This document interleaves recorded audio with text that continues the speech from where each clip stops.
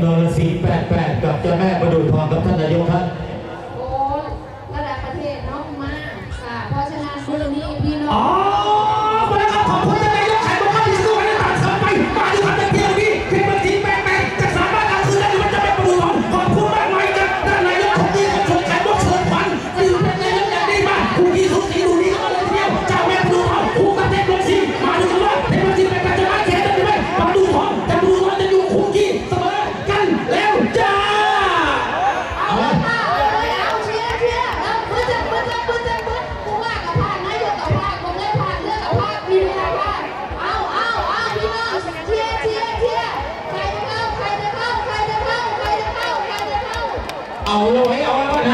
นายกก็เชียร์ผู้ว่าก็เชียร์แล้ววันนี้เดี๋ยวท่านจะไปทำการได้ยังไงจากที่นี้ช้าแล้วแหละเพราะว่าจะของที่ขนาดแท้ก็โดนกินตัวทีเดียวใส่มาแ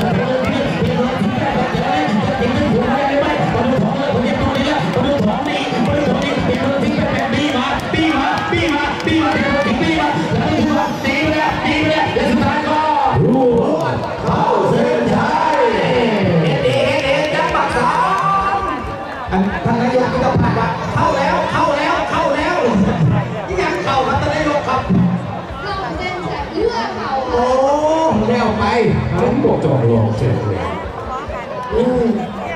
ผ่านผู้ไปผู้เป็นการประกาศผลการตัดสินเรือยาวใหญ่ไม่เกิน55ฝีพายรองห้วยสายเพียงร่องน้ำระหว่างเรือเทพกระสิงห์88ร่องน้ำแดงกับเรือเจ้าแม่ประดู่ทองร่องน้ำน้ำเงินคณะกรรมการเส้นชัยได้ร่วมกันตัดสินให้เรือร่องน้ำน้ำเงินคือเรือเจ้าแม่ประดู่ทองเป็นฝ่ายชนะค่ะ